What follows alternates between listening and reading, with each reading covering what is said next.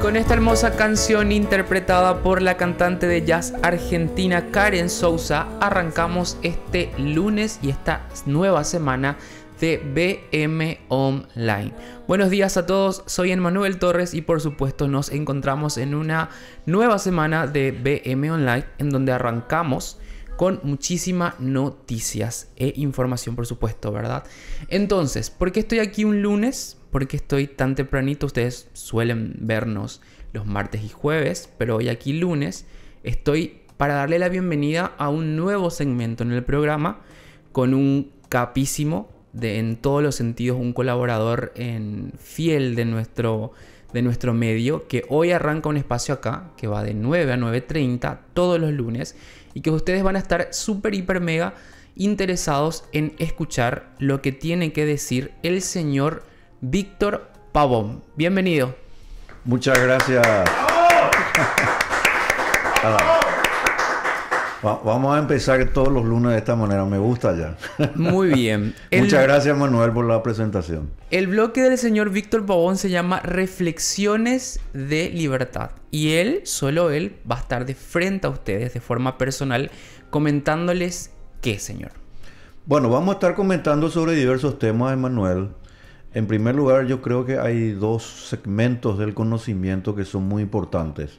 En primer lugar, tocar los temas de fondo, el porqué de las cosas, por qué suceden ciertos hechos en la economía, en la política, en los temas que atañen a las políticas públicas del gobierno, etcétera, a los temas que se relacionan a los bolsillos de la gente por qué y cómo podemos aumentar los salarios de la gente, cuáles son los elementos que tenemos que incentivar y cuáles de luego tenemos que modificar para que este país tan bendito, tan este, lindo que tenemos como Paraguay realmente pueda ser un país cada vez más desarrollado. Y el otro tema de luego son los temas de coyuntura estrictamente, como hoy por ejemplo lo vamos a estar desarrollando pero básicamente la intencionalidad es mostrar un poco al público de una manera, me parece, y ojalá lo podamos lograr, de manera amena, la relación que existe entre las ideas y los hechos. La cuestión de las ideas son importantes, Emanuel, porque si nosotros no sabemos y no entendemos sobre el origen de ciertas ideas, desde luego que mucha gente empieza a repetir como loro muchas veces muchas cuestiones y al final lo que tenemos es un sendero peligroso de atribuciones que le vamos dando al gobierno. Y cuando nosotros le damos mucho poder al Estado, pues lo que vamos a tener es sencillamente que cada vez más el Estado se va a meter en nuestros asuntos internos. Te cuento nomás, este, para darte un ejemplo, eh, yo he sido propulsor y sigo siendo de hace muchos años, pero en términos argumentativos de la necesidad de derogar el impuesto a la renta personal.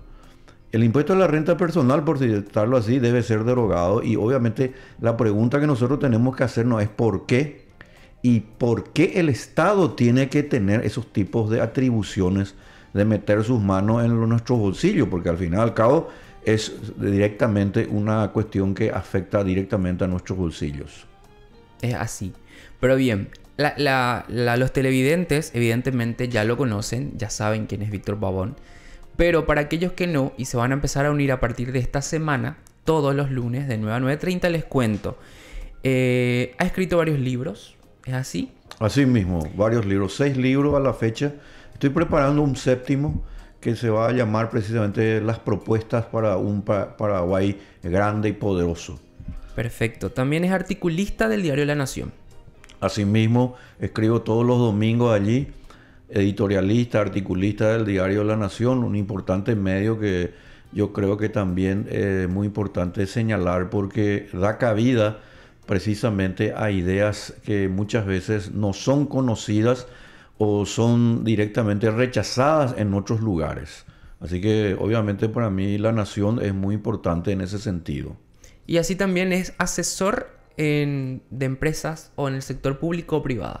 Así mismo, además de eh, dedicarme a la docencia, eh, realizo asesorías a empresas privadas y en alguna vez también estuve asesorando a algunas empresas relacionadas al sector público, pero más ahora al sector privado relacionado al derecho administrativo, al derecho civil, contratos, etc. Bien, antes voy a realizarle mi última pregunta antes de arrancar con el tema del día de hoy. ¿Por qué reflexiones de libertad? Bueno, porque yo creo que nosotros a través de los medios, Emanuel, tenemos que ser difusores de ideas y al mismo tiempo tener una línea de pensamiento.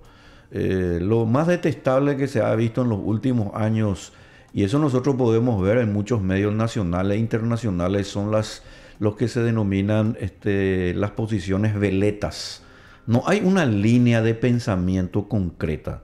Entonces cuando uno tiene una línea de pensamiento, entonces es más fácil de identificar al programa y de luego también de esta manera sacar conclusiones mucho más valederas, porque lo peor que le puede suceder a una persona para mí es que el lunes te diga una cosa, el miércoles te diga otra cosa y a fin de mes no sabes qué es lo que finalmente propone, porque no se mueve eh, por ideas, no se mueve por convicciones.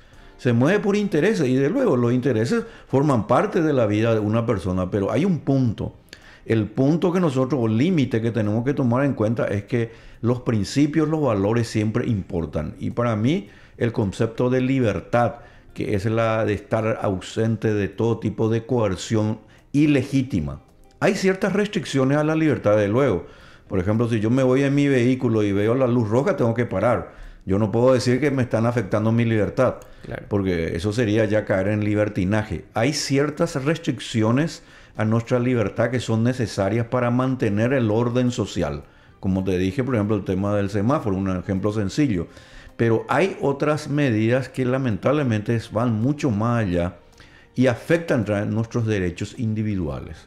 Y de esto es lo que vamos a hablar, Emanuel, los de cuáles son los derechos más importantes de una persona. Son tres. Y esto tiene toda una filosofía política, moral, que vamos a ir explicando en el programa que son la vida, la libertad y la propiedad, que provienen ya de lo que se denomina la Carta Magna Inglesa 1215 y de la gloriosa Revolución también inglesa de 1688. Y que aquí en el Paraguay también se estableció, lo que pasa es que fue destruido toda esa línea de pensamiento, porque aquí en el año 1732, por ejemplo, se estableció una bandera que hasta hoy en día tenemos que tomar en cuenta y se llama Libertad y Buen Gobierno. 1732, Manuel, ¿vos te imaginas? Si nosotros hacemos un análisis histórico, 1732 en estas tierras, antes de la Revolución Americana, que es 1776, y antes de la Revolución Francesa de 1789. Pero eso fue relegado de nuestros estudios. Nuestros niños, nuestros jóvenes, lamentablemente al desconocer la historia, no tienen lo que se denomina, y para mí es muy importante el concepto del patriotismo. Nosotros tenemos que volver a entender lo que fue Nanagua de Gloria, lo que fue este, todo lo que significa la guerra del Chaco, la guerra de la Triple Alianza, no con un sentido nacionalista, chauvinista, para odiar lo extranjero, sino que para amar lo que tenemos, porque Paraguay tiene mucho este, realmente que ofrecerle al mundo y de luego a los propios paraguayos que te necesitamos aquí labrar nuestro propio futuro. Es así. Así que ya lo sé yo, ya lo saben ustedes. Todos los lunes de 9 a 9.30 el señor Víctor Pavón, abogado y economista, con ustedes y te, le dejo explayarse y que pueda desarrollar su programa, mm, que sea muy bienvenido. Muchas gracias, Manuel. y luego también le agradezco al amigo Bruno Masi por esta oportunidad, este, a vos, de Manuel, y de luego este, vamos a estar aquí todos los lunes hablando sobre diversos temas que básicamente hemos dado así una suerte de pantallazo. Pero es muy importante esta oportunidad para mí y lo valoro mucho realmente. Bien, bienvenido.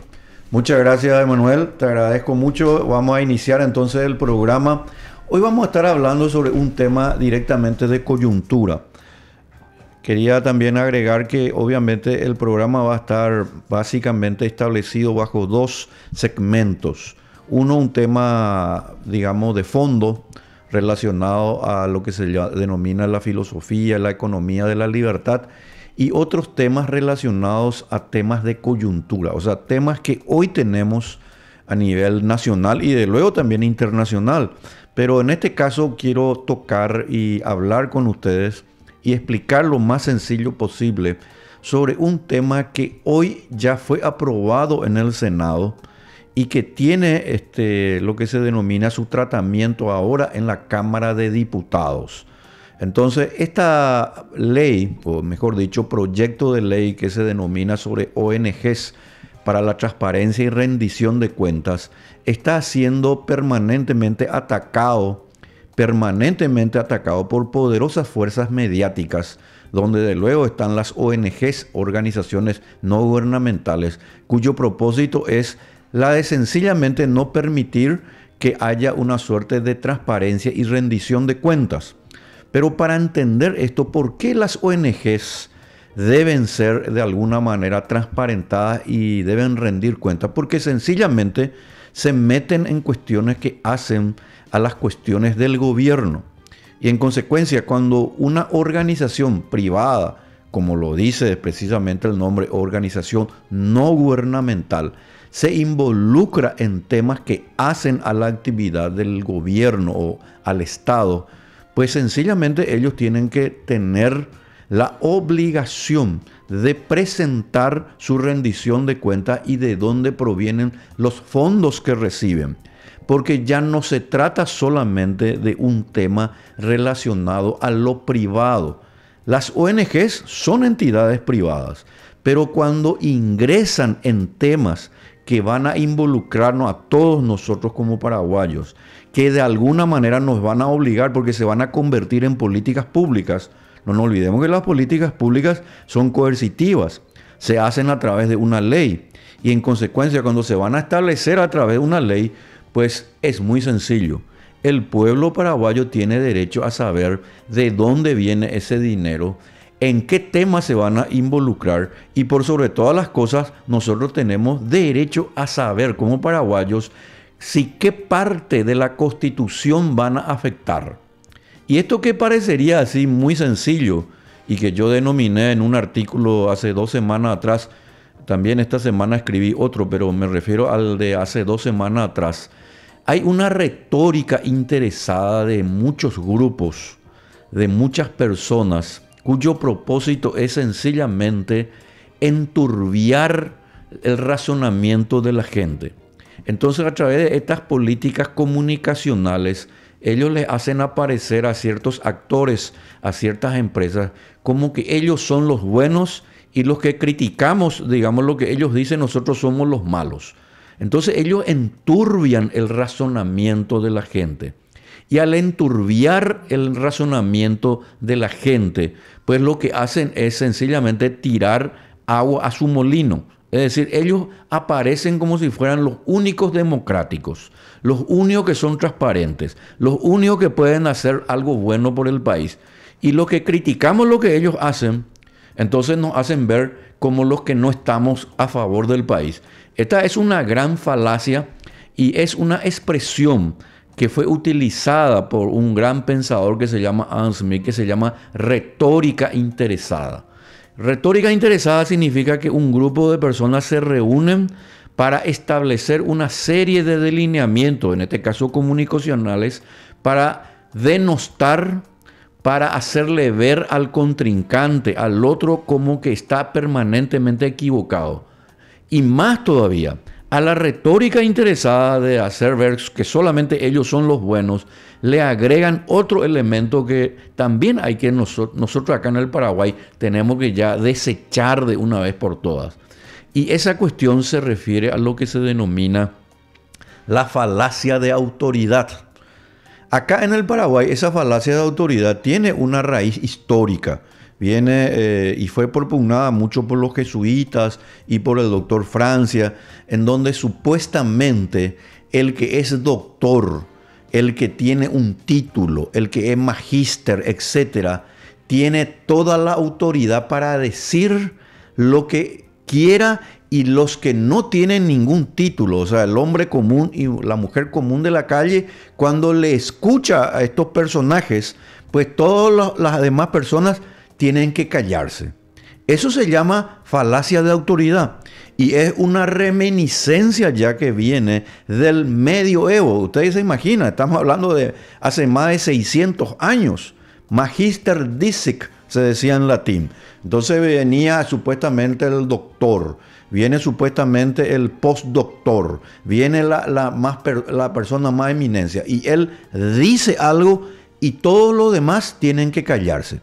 Y eso si ustedes se dan cuenta, hoy en el siglo XXI es sencillamente una reminiscencia un recuerdo de un pasado autoritario que nosotros ya no tenemos que permitir. Esta retórica interesada, sumada a la falacia de la autoridad, es lo que ha calado hondo con este proyecto de ley. Entonces tenemos que irnos a analizar el proyecto de ley. El proyecto de ley es muy sencillo. El proyecto de ley viene a cubrir un vacío legal. El vacío legal se refiere a que las organizaciones sin fines de lucro, entre las que se encuentran las organizaciones no gubernamentales, ONGs, tienen que rendir cuenta y transparentar sus fondos cuando esos fondos se relacionan a temas que le incumben al pueblo paraguayo. Es así de sencillo. En ninguna parte de ese documento o ese proyecto de ley que ahora está en diputados, por cierto, y se va a empezar a estudiar en diputados, en, esa, en, esa, en ninguna parte del documento habla de que se les va de alguna manera a mermar sus derechos. Se le van a poner condiciones para crear ONGs. Se le van a crear cada vez más requisitos para que ellos no puedan llevar a cabo sus actividades. De ninguna manera, al contrario. Lo único que se busca es, señores, ustedes pueden organizarse, ustedes pueden realizar todo lo que quieran. ¿Por qué? Porque las ONGs son organizaciones que están establecidas en el Código Civil. Y como ustedes saben, y para que la gente un poco pueda tener conocimiento de esto, el Código Civil es la parte del derecho que regla las relaciones entre los particulares, entre los individuos. Si José y María establecen un contrato, pues es una cuestión privada no debería de luego meterse ahí el Estado. Y desde luego no se mete el Estado con este nuevo proyecto de ley en las relaciones que hagan, contractuales que hagan las ONGs. Pero hay un límite, hay una cuestión que es diferente. Cuando una ONG recibe un dinero de un gobierno extranjero, recibe dinero del gobierno paraguayo, recibe dinero de una organización privada y lo va a aplicar para una política pública, es decir, una política del Estado, la cuestión es diferente. ¿Y por qué es diferente? Y es muy sencillo, porque ya no se trata de un acuerdo solamente privado, se trata de una cuestión que se va a convertir en una política pública. Y al convertirse en una política pública, quiere decir que todos los habitantes de este país, paraguayos y extranjeros que habitamos en este país, vamos a ser afectadas por esa política pública. Y en consecuencia, ahí está la diferencia. Y esto es lo que no quieren entender esta gente. ¿Y saben por qué no quieren entender? Porque ellos quieren nomás seguir recibiendo su dinero para de alguna manera seguir con sus políticas gubernamentales para hacernos introducir por la ventana algunos elementos que conspiran precisamente contra nuestra constitución. Y eso los paraguayos no tenemos que permitir. ¿Por qué nosotros los paraguayos vamos a permitir que fondos extranjeros ingresen como políticas del Estado para de alguna manera enseñarle a nuestros niños, a nuestros jóvenes en los colegios, que la familia ya no es hombre y mujer. Que la familia puede ser hombre y hombre, mujer y mujer e hijos. Señores, eso no está con la constitución del Paraguay. Eso es violatorio de la constitución, es violatorio de nuestras tradiciones y nuestras costumbres. Y estoy seguro que usted señora, usted señor que está ahora viendo este programa, no querrá que su hijo o su nieta o su nieto reciba la enseñanza de que la familia ahora ya no es la tradicional hombre y mujer, que puede venir nomás un trans, un LGTB a tener que educar a los niños e incluso quizás a tener que de alguna manera a enseñarles cuestiones que hacen al sexo. Y eso no está bien. No está bien porque no forma parte de las tradiciones y la costumbre del Paraguay y está contra la constitución, porque le recuerdo, y esto es muy importante porque esta gente no quiere por lo visto tomar en cuenta lo que dice la constitución. En la constitución de del Paraguay 1992, que rige al Paraguay, dice que la familia está compuesta por el hombre, la mujer y los hijos. No por un hombre y un hombre, no por una mujer y una mujer y luego los hijos. Eso es una conspiración contra los intereses del Paraguay. Pero eso es lo que ellos vienen haciendo. Cuando se mete dinero, le pongo otro ejemplo, cuando se introduce dinero para que se pueda aprobar como política pública un reglamento, una normativa para que nosotros cambiemos nuestro sistema de producción en el campo, para que ya no tengamos, por ejemplo, que producir más carne o producir más soja, más maíz, más mandioca, que es lo que hace la Unión Europea, pues nosotros los paraguayos tenemos el derecho de decirle a estas organizaciones, aunque sean las formadas en, en, los más grandes centros universitarios o hayan sido formados en Europa, en París, en donde sea, que nosotros esos temas, nosotros los paraguayos lo vamos a decidir aquí. ¿Y por qué nosotros lo vamos a decidir aquí? Por una cuestión sencilla, que hoy nosotros no tenemos que dejar de considerar. Nosotros lo vamos a decidir aquí porque esto es un concepto de soberanía. Y el concepto de soberanía significa que nosotros, el pueblo paraguayo, deliberamos y decidimos lo que vamos a hacer en nuestro territorio nacional. Es que para eso se hizo la independencia del Paraguay. ¿O para qué la gente cree que se hizo la independencia del Paraguay? ¿Por qué se hizo la guerra de la Triple Alianza? ¿Y por qué la guerra del Chaco? Para mantener este Paraguay libre y soberano. Para que nosotros no tengamos que depender de ninguna potencia extranjera. Nosotros los paraguayos tenemos nuestros defectos y nuestras virtudes, como todo país. Tenemos nuestros defectos y nuestras virtudes. Todos los países lo tienen. Pero déjenos a nosotros decidir lo que vamos a hacer. No porque a nosotros nos más se nos antoja lo que vamos a decidir, sino porque la constitución del Paraguay dice que los poderes del Estado están establecidos en el Ejecutivo, el Legislativo y el Judicial.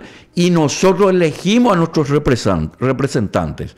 De que desde luego tenemos que elegir quizás mejor a nuestros representantes. Desde luego que es lo que tenemos que hacer.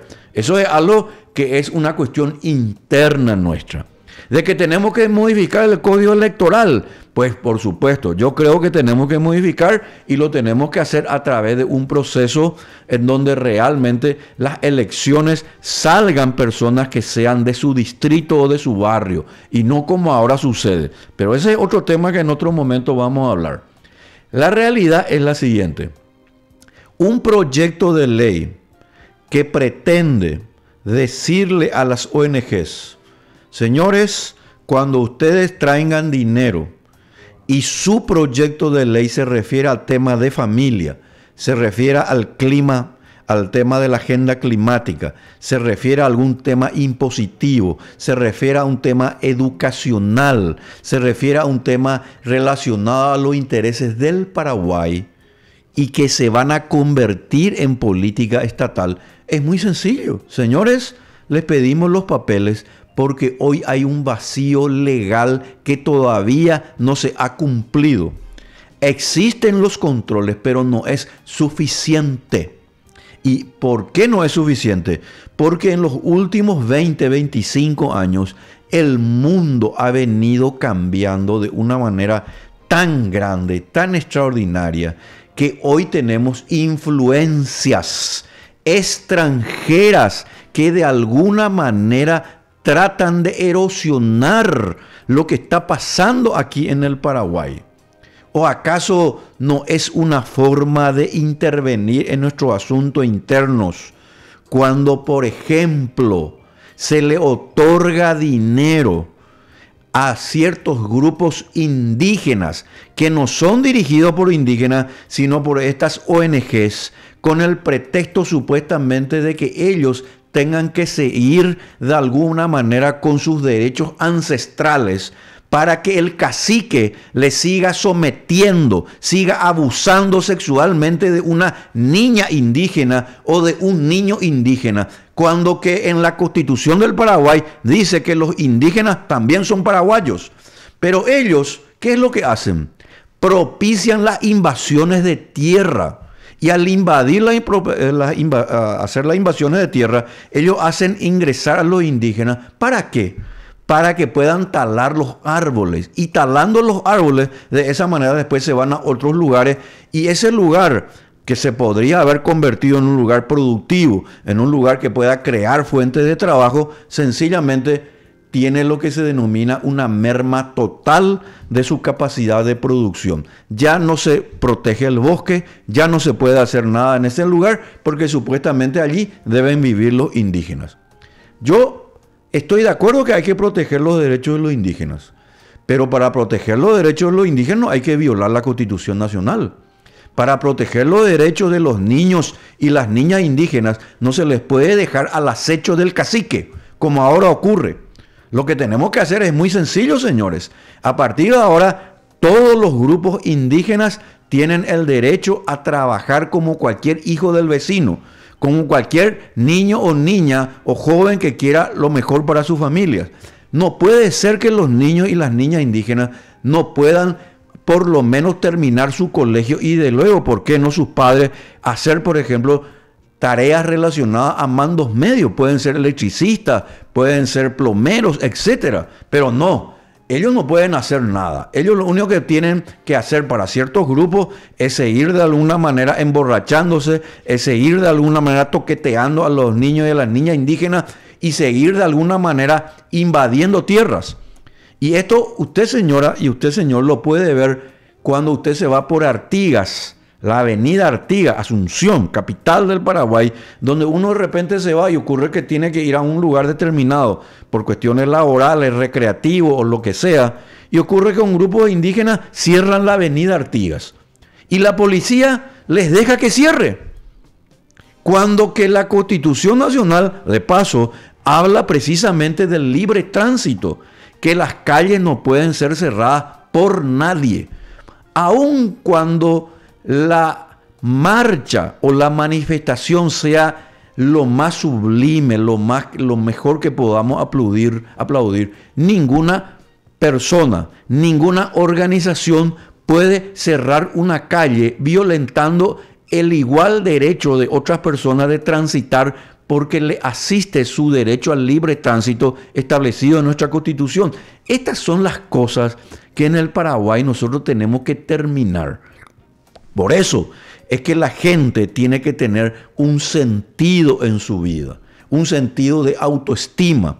Pero cuando se les hace creer a través de ciertas ONGs que estas personas tienen que de alguna manera seguir recibiendo subsidios, seguir recibiendo dinero para que no trabajen y para que todo siga con una suerte de círculo vicioso, donde el hijo al final cuando es grande, finalmente tiene todo lo que y lo, menos que puede tener su padre, entonces hay algo que no está bien. Y esto se viene repitiendo ya, y vamos a hablar de la época de la democracia, desde 1989 a esta parte. Y eso no está bien. Es inadmisible que esto siga ocurriendo. Entonces, cuando uno habla de esta manera, tratando de poner los puntos sobre las I, desde luego algunos me estarán diciendo, pero qué insensible ese señor. Pero ese señor no piensa luego en la justicia social. Ese señor no piensa luego en las necesidades de los niños y las niñas. Ese señor, por lo visto, tiene un corazón de, de hierro. No piensa en las demás personas. Es al revés. Las personas que le dan a estas personas su carácter de yaranga y que no pueden hacer nada sin que ellos le digan primero lo que tienen que hacer, ellos son los que realmente le están llevando por el mal camino. Son ellos los que le están llevando por ese camino de perdición para que sean dependientes del cacique de turno y del político de turno. Porque acá no nos vamos a mentir, señores.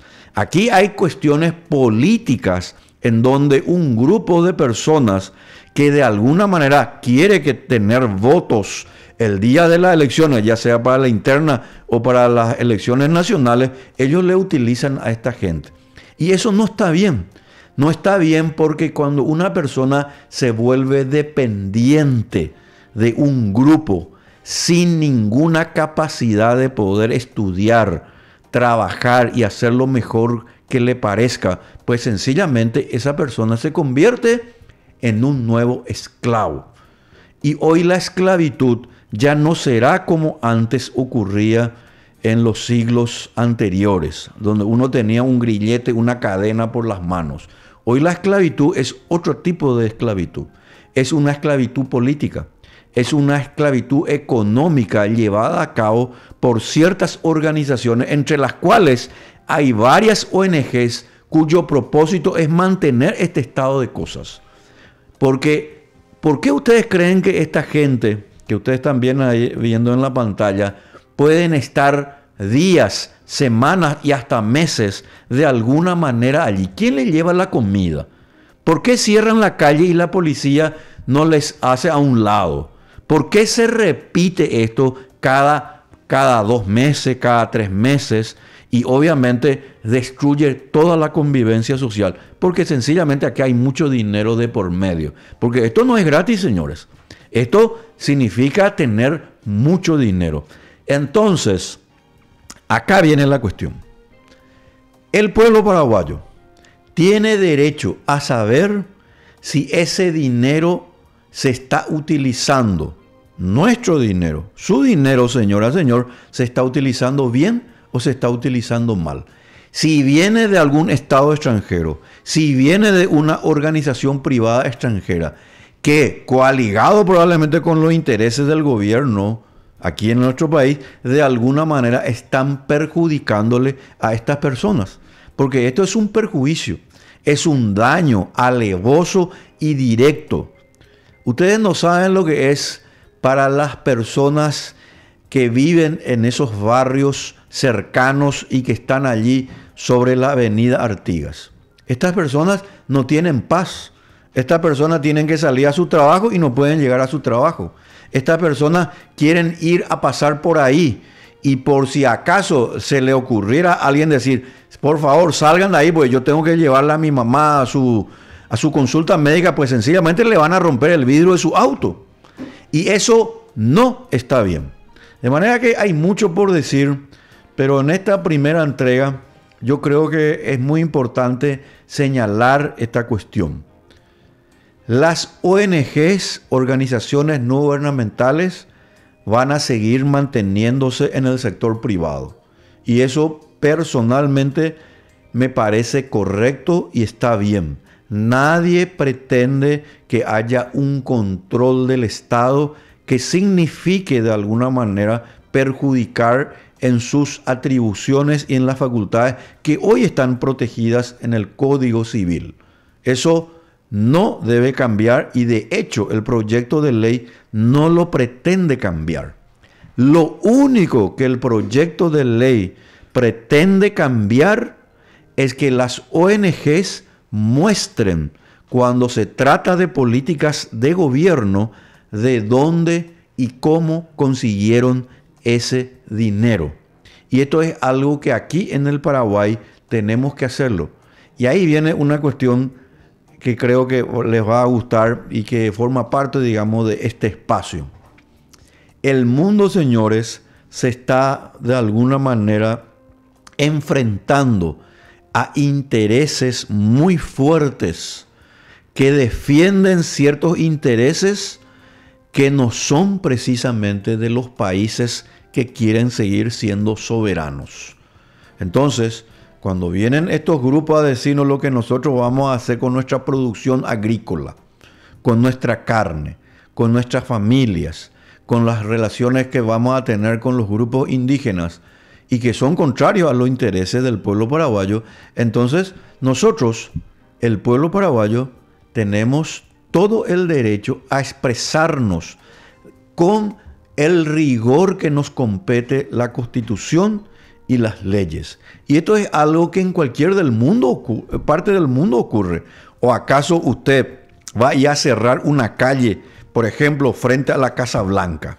¿O usted va a cerrar una calle en San Pablo sencillamente porque se le ocurre a un grupo de personas cerrar la calle? Yo estoy seguro que las autoridades correspondientes, empezando por la policía, alguna forma de ordenamiento va a realizar.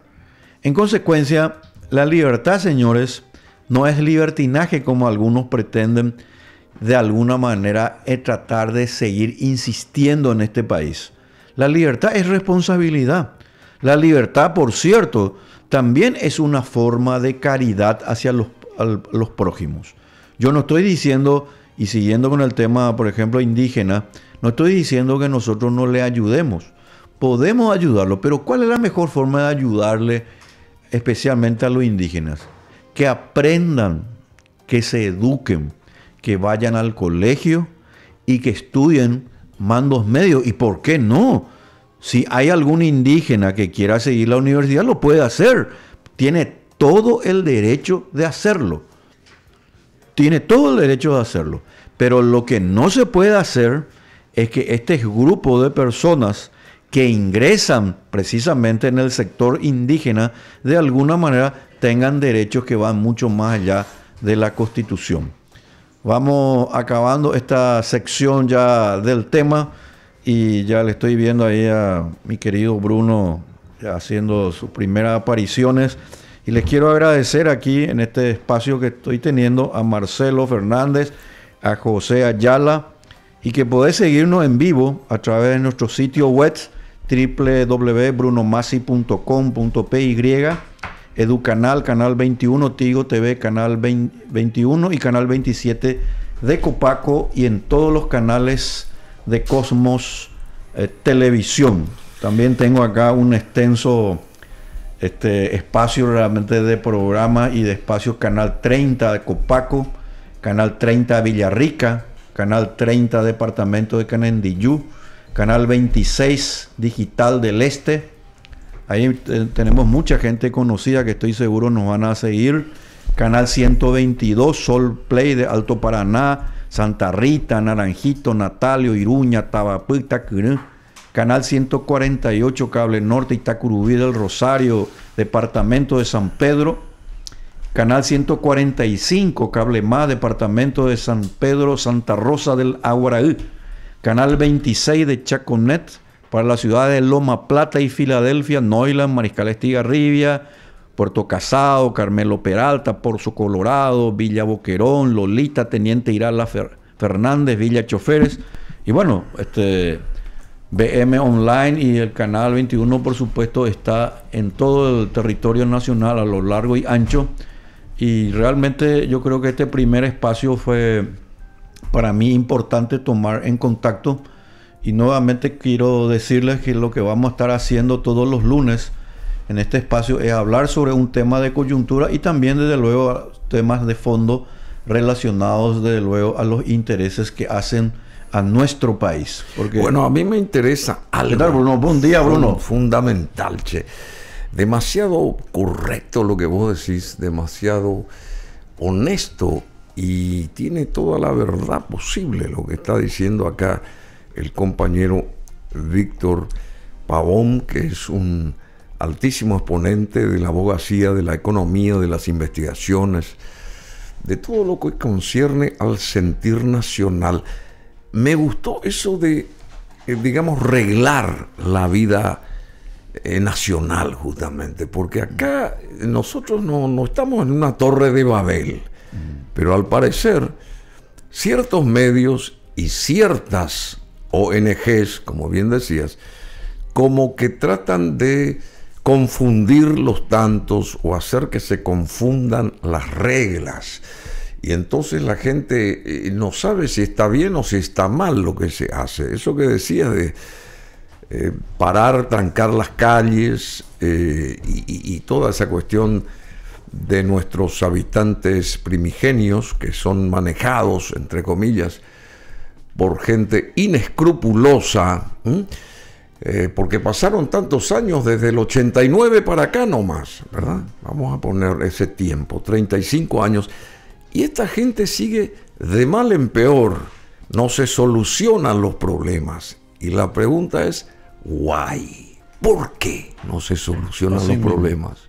Esa, esa, es la gran pregunta, Bruno. Bueno, yo creo que eh, las razones son varias. En primer lugar, porque hay gente que prefiere que muchas personas se vuelvan dependientes de esas personas. Y ahí están desde luego los grupos políticos y ciertas ONGs que quieren nomás que esto siga así como una suerte de status quo, porque aquí hay mucho dinero que viene tanto a de nivel nacional y a nivel internacional, en donde ellos consideran que lo que se denomina los derechos ancestrales o consuetudinarios de los indígenas tienen que ser protegidos supuestamente de la modernidad. Y cuando hablamos de la modernidad, Bruno, estamos hablando de que la gente tiene que trabajar. Ganará el pan con el sudor de tu frente, dice la palabra. Entonces, obviamente el niño tiene que entender que su padre, que no trabaja y que lo único que busca es tener un subsidio, no le está dando buenos mensajes precisamente para su futuro. Porque un niño a los 16, 18 años que por supuesto tiene todo el derecho de estudiar y por qué no trabajar, debería formarse en ese capital humano tan necesario que se hace precisamente en nuestras escuelas. Estuviste em, enfocando un tema que es este, pero fundamental, en el diario eh, La Nación, creo que, ¿verdad? Así mismo. Las ONGs, retórica interesada y falacia de autoridad. En síntesis, esta ley o proyecto de ley que está en ciernes y que seguramente esta semana se va a tener que resolver definitivamente, eh, en síntesis, por qué les cae tan pesado esto a, las ONGs? Por la cuestión de esa verificación del dinero que éstas reciben, eh, porque al final de cuentas hay que cubrir ciertos, ciertos espacios legales, como bien dijiste también, y estas están haciendo eso, ¿verdad? Porque el Estado debería de haber cubierto todo eso hace rato y tiene, por supuesto, lagunas y tiene eh, vericuetos insalvables y entonces ahí ingresan las ONGs y sus poderíos, digamos. Pero ¿por qué se molesta esta gente de la ONG? ante un proyecto de ley que es clarísimo, porque es simplemente una fiscalización de los fondos respecto a esa, digamos, infusión, no sé si se dice así, con los intereses del Estado para con los ciudadanos en general. Porque al fin de cuentas, esa es la historia. ¿O no es así? Es así mismo, Bruno. Y yo por eso le titulé a mi primer artículo hace dos semanas, Luego escribí otro sobre la diferencia entre lo público y lo privado. Eh, es la falacia de la autoridad y la retórica interesada.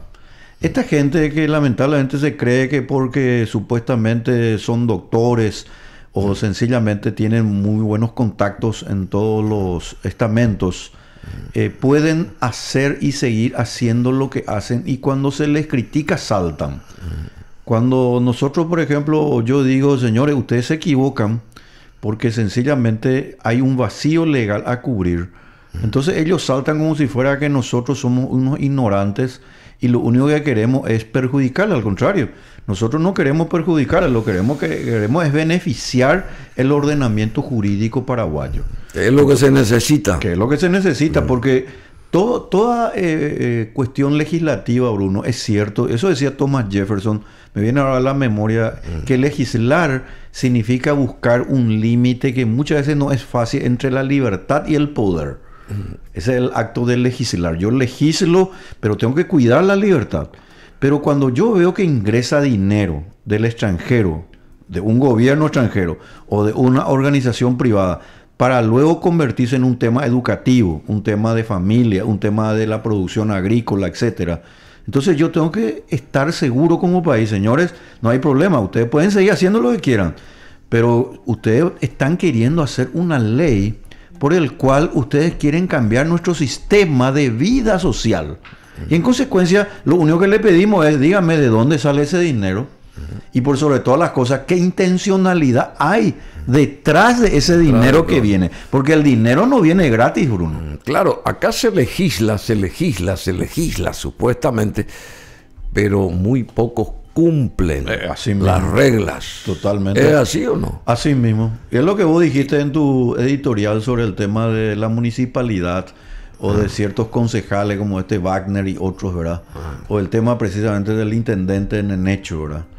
Eh, yo creo que cuando el país o una ciudad está como está, no es por la falta muchas veces de ley o de normativa, es por la falta de poner en ejecución la ley. Pero la ejecución de la ley lo llevan a cabo las personas. Pero si las personas que tienen que votar, por ejemplo, que no- ya no se le endeude, por ejemplo, a la ciudad de Asunción, y siguen endeudándole, pues hay una sola respuesta. Y la respuesta es que en la siguiente elección, toda esta gente hay que hacerlo volar. Bueno, pero justamente en la siguiente elección. ¿Y qué pasa? Ahora, ¿verdad? Sí, claro. ¿Qué pasa? ¿Por qué uno tiene que aguantar cuatro o cinco años si se sabe que esta gente está de contramano? Sí, sí. Tiene que haber una legislación Sí. que rompa con esos moldes Así y que mismo. impide el, el- el- el- el avance de esta gente, Sí. porque si hace mal su trabajo, tiene que dar un paso al costado automáticamente Sí. y que se reponga esos cargos con gente mucho más idónea. ¿No es así acaso? Totalmente. Y yo Ah. te doy una idea ahí, Bruno, para, para un poco charlar, ¿verdad? Y que podemos profundizar también. Eh, existe lo que se llama la revocatoria del mandato. No está en la legislación paraguaya, en nuestro ordenamiento nacional, pero la revocatoria del mandato funcionaría así. Si el intendente, luego de haber pasado este informe a la Contraloría, el inco- la Contraloría informa que hay suficientes indicios para que esto se convierta en una causa penal y pasa luego a la- al Ministerio Público, como ha sucedido en este caso, pues entonces se instala la revocatoria del mandato.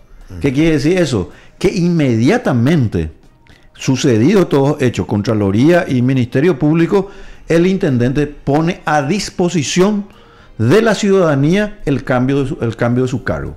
O sea, se revoca directamente el cargo que tiene. Eso hoy no lo tenemos, entonces tenemos que esperar la siguiente elección. Pero eso está mal. Eso no está bien, obviamente, porque sencillamente estamos esperando demasiado tiempo y mientras tanto ya nos sacaron toda nuestra plata de nuestros bolsillos. Claro. Ese es el problema. ¿verdad? Y siguen las mansiones, siguen los despilfarros. Así mismo. Bueno, Hay algunos que ya dicen que Encarnación podría ser nuestra capital, por ejemplo. ¿no? eh, siempre yo sostuve eso. Y Me parece que está no, mejor organizada. Está mejor organizada, ¿verdad?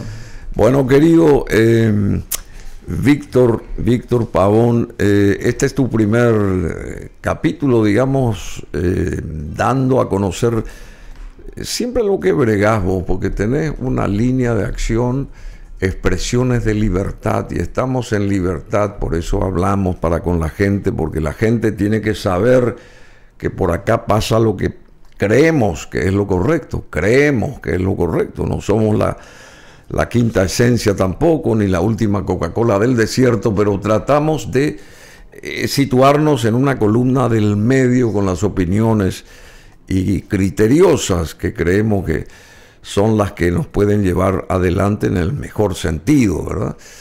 Y desechar, eh, desviar, utilizando un término ferrocarrilero que necesitamos con urgencia, también la parte del ferrocarril, desviar aquellos eh, conceptos, cánones y cuestiones que hacen a un mal manejo de la cosa pública y por qué nosotros tenemos que seguir aguantando hasta las siguientes elecciones. No puede ser eso. Eso es- va contra todas las reglas, porque eso no... En, en ningún otro país del mundo existe esta dilación así tan elástica, de una conciencia elástica. eh, y todos tenemos que estar dentro de las supuestas normas, pero nadie cumple las normas, o muy poca gente cumple las normativas. Totalmente. Ese es el problema. ¿Verdad? Eh, yo te quiero agregar ahí a lo que está diciendo Bruno. En primer lugar, este, si me permitís, Por favor. quiero agradecerte el espacio que me estás dando. Para mí realmente lo valoro mucho. Para nosotros. Eh, y realmente, obviamente, es también algo muy importante. Una sociedad que se precie de ser libre y que, que pueda progresar necesita lo que decía un gran pensador, John Stuart Mill. Él escribió un, un libro que se llama On Liberty, sobre la libertad. Qué bueno. Y él decía, es bueno que las ideas compitan entre sí. Pero para que las ideas compitan entre sí, el que escucha tiene que empezar a formarse, a entender. Porque si no, no puede discernir entre lo bueno y lo malo. Como vos dijiste, eh, todo es tan elástico que al final depende nomás del cristal Claro. con que se mire. Con que se No, mire. señores. Cuando una persona endeuda a una ciudad con el dinero de los contribuyentes, porque siempre va a pagar el contribuyente, y hay indicios, elementos de reprochabilidad jurídica que están establecidos en el Código Penal, pues sencillamente la mayoría que lo protege en la Junta Municipal, ellos también son responsables. Cómplices. Entonces la complicidad es directa. Entonces la respuesta democrática, la respuesta quizá que podríamos hacer es tipo la Revolución Francesa, tomamos ahí la- y le echamos a todas patadas, ¿verdad? Pero la respuesta es que en la siguiente elección, señores, ninguno de los que están ahí tengan que volver a ser votados. Ese es- pero para que nosotros lleguemos a ese nivel, el pueblo tiene que discernir, saber lo que está bien y lo que está mal, y que el que ocupa un cargo público no puede hacer nomás lo que quiera. En el sector privado uno puede hacer lo que quiere con su dinero. Y eso es algo siempre de un ámbito de responsabilidad, de luego. Pero en el sector público uno administra el dinero de esa señora, ese señor que ahora no está viendo y que apenas está preparando probablemente para su almuerzo, para que su nieta o su nieto, su hijo venga a almorzar y que probablemente ni tan siquiera va a tener los nutrientes para poder alimentarlo. Contra ellos nosotros estamos haciendo política equivocada y los responsables son también los miembros de la Junta Municipal, hablando ya sobre ese tema en concreto que estábamos hablando. Especialmente el Augusto Divino Wagner. Por supuesto, que es lo que vos dijiste en tu editorial. Si nosotros 30 le- años hace que está ahí. Si nosotros le seguimos manteniendo a personas que lo único que hacen es mantener el status quo, Claro. entonces lo que no vamos a tener ningún cambio. Vos te vas a Casa Liz, a una calle eh, principal de nuestra ciudad, San Martín, República Argentina, y lo primero que tenés que pensar es si de dónde puedo llevar a mi taller porque le destruyó el, el- el tren delantero a mi Acá en la esquina, acá en la esquina, ¿Y la, diagonal de República Argentina. Es inadmisible. Hace dos meses hay un agujero gigantesco ahí. Ahí está. Y pasa cualquier cantidad de, de- de- pasan cualquier cantidad de vehículos por ahí. Por eso que labor, la labor de la prensa y de la prensa libre eh, es tan importante en nuestro mundo que nosotros tenemos que empezar a darnos cuenta que hay nomás personas que por lo visto defendiendo sus intereses están dispuestos incluso a ponerle este, sus zapatos sobre los cuellos de su propia mamá. Sí. De su propia mamá. No le importa, Bruno. Eh, Y eso es algo que nosotros tenemos que tomar en cuenta. Lo que está sucediendo ahora con Estados Unidos, con el tema este de Biden, o lo que va a pasar con la elección el 5 de noviembre, te muestra de cuerpo entero, a nivel de la gran potencia que es los Estados Unidos, hacia dónde se está yendo todo este fenómeno geopolítico, que no es fácil muchas veces de entender, porque la gente muchas veces mira nomás su ombligo. Y nosotros tenemos que mirar lo que pasa también a nivel mundial. Kamala Harris Kamala Harris. o Donald Trump. Donald Trump para mí, por supuesto. Bueno, y ahora está la Kamala Harris al parecer ahí en la mira de todos. la mala Harris, dijiste. No, Ah, sí, Kamala, sí, perdón. sí. Bueno, le- de acuerdo al cristal con que se mire. Así también. mismo. Kamala o la mala, puede ser. Bueno, y esa, esa portada de Time lo dice todo. Así mismo. Entraron Eh. en pánico. revierte de vuelta la situación, bueno, en el sentido de que apuntala de vuelta la situación, ya dio un paso al costado, evidentemente, de sus pretensiones de volver a ser candidato a la presidencia este señor Biden. Y, bueno, hay que dar paso a otra gente y a mentes más lúcidas. Y así como acá también, eh, simplemente aportando una idea de que las autoridades en la Corte Suprema de Justicia pueden estar hasta los ahí activando hasta los 75 años, yo pienso que también en Estados Unidos debería regir una, una, una regla similar, hasta tantos años, porque este señor se aparta con 81, 82 años. 81, sí. Y- bueno, y- Trump y- está cumpliendo los 80 también. Eh, no tanto, 78 Sí, todavía pero tiene. si es presidente va a estar... Sí, bueno, entiendo. Vos, sabés que es un tema bastante eh, interesante eso que está Pero- pero habría que poner- sobre la mesa, Bruno. Formatear ciertas reglas. Vos sabés que en la Constitución de los Estados Unidos, Ah. hasta que se hizo una enmienda, nunca se restringió la reelección Ah. de un presidente. 79 o 78 cumplió. 78. Ahora el 14 de junio, Sí. Donald Trump, que Sí. fue el presidente 45 en su momento, en el 2017 de los Estados Unidos, Sí, sí, y, sí. y- y- y si asume de vuelta, sería él el número 47, ¿verdad? Más Así o menos. mismo. Pero eh, yo creo que también ahí, en ese gran país, con todo el respeto que se merece, debería también su cúpula ceñirse a una suerte de, de, qué sé yo, de formateo en cuanto a la edad, porque evidentemente se tropieza uno con ciertas cosas que Claro. eh, en, en las elecciones no, no las... No las No, sé, no hay tiempo para analizar. claro. Pero es, es un buen momento quizás para analizar. Te iba a contar nomás la anécdota que pasó con la constitución de los Estados Unidos. Cuando en la constitución no se estableció ninguna restric- restricción para la reelección. La persona puede ser reelecta, el presidente de los Estados Unidos podía ser reelecto sin edie. Ah, ¿sí? Así igual co- como sucede con los congresistas aquí en Paraguay. Sin edie de por vida. Sí, Hasta sé. que un tal Franklin Delano Roosevelt empezó a ser reelecto por más cuatro o cinco periodos. Entonces la gente dijo, a la pucha, sí, esto seguimos así, este señor se, va, se nos va a morir en la Casa Blanca. Y entonces establecieron una restricción, hicieron una enmienda, por el cual el presidente solamente puede ser reelecto una sola vez. Tema que también, por cierto, alguna vez también podemos analizarlo acá. Yo personalmente... Y en la Junta Municipal de Asunción, en la En la Junta Jun- Municipal. y bueno. porque este Wagner hace 30 años que está ahí. Bueno, y ahí va el... ¿Y el- qué aportó a la ciudadanía? Mira, Asuncena. Mira, Bruno, tocaste el tema que yo creo que es el tema eh, del mes Ah. o de- del año. ¿Hasta dónde una persona que ocupa un cargo determinado puede seguir, puede o no ser reelecto? Ahí está Y la el es impresentable. que- este, ahí está. Ahí el está. impresentable de Augusto Divino Wagner. Dios mío. Una- una- eh, sí.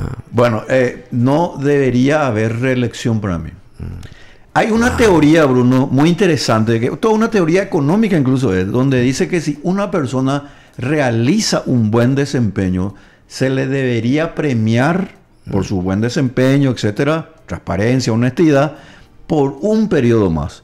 Entonces yo diría, Claro. hasta un periodo se puede aceptar. Perfecto. Pero no puede ser un señor que está hace, más de ocho periodos ahí. Hace 30 años y más. eh, Es impresionante.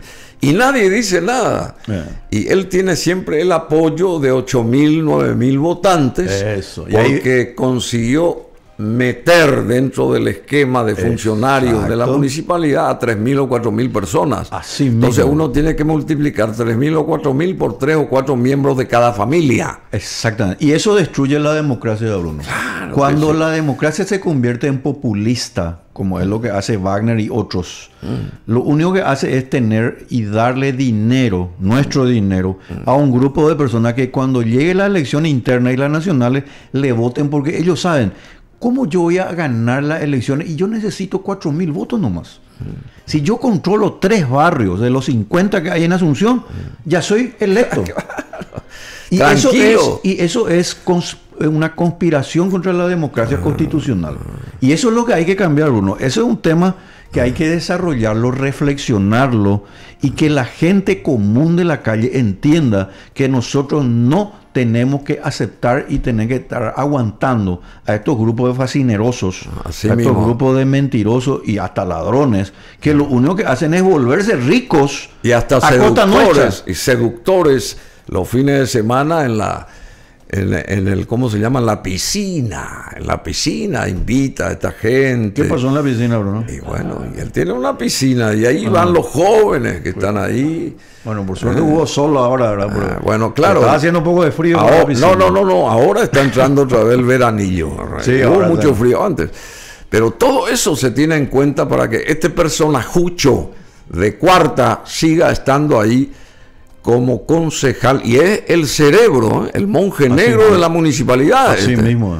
este, este le maneja a todos los intendentes. Totalmente. Eh, no es, no es uno más, es el verdadero intendente este que está ahí en la pantalla. La realidad, Bruno, que en Asunción y en muchas municipalidades, ah. en realidad ya no gobierna el intendente, mm. gobiernan los concejales. ¿Por qué? Porque los concejales se unen entre ellos y le dicen al intendente, mira, si vos no nos aprobás esta ordenanza, o no nos aproba esta licitación, entre comillas, nosotros te vamos a retirar y te vamos a iniciar el proceso de tu destitución. Y así actúa este. Entonces, ahí, así actúa. Y en consecuencia, por eso se eterniza en el poder. Así mismo. Bueno, porque a eh, mí, ni a vos, ni a acá, ni a los que están acá, él nos representa. Por favor, un semejante personajucho. Bueno, eh, querido Víctor, muchas gracias. Te felicito por esta vehemencia, esta entrega, esta sinceridad que tenés vos cuando das a conocer tópicos tan importantes que deberíamos de meditar y aplicar directamente nosotros, escuchar al señor Víctor Pavón y analizar bien a profundidad. Y nos dice la verdad, porque acá no, no estamos con mentiras, estamos con realidades, realidades, estas son las realidades. Y hay que saber dar ese paso sobre un sendero hacia o hacia un sendero seguro y no estar ahí tipo veletas escuchando otras campanas de gente que, que realmente no, no, no, están a nuestra altura. Esa es la verdad de la milanesa. Toda esa gente que está de contramano hay que apartarla, sacarla y nunca más votarla. O mejor dicho, votarla pero con B larga bueno, muchísimas gracias. Gracias a vos, Bruno. Encantado realmente.